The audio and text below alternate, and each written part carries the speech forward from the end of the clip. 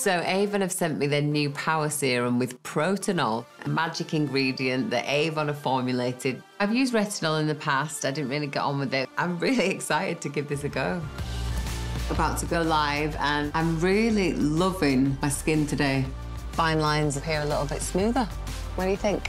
My skin does feel great. I can definitely tell the difference. It feels firmer, stronger. I'm sure it must be working some sort of magic.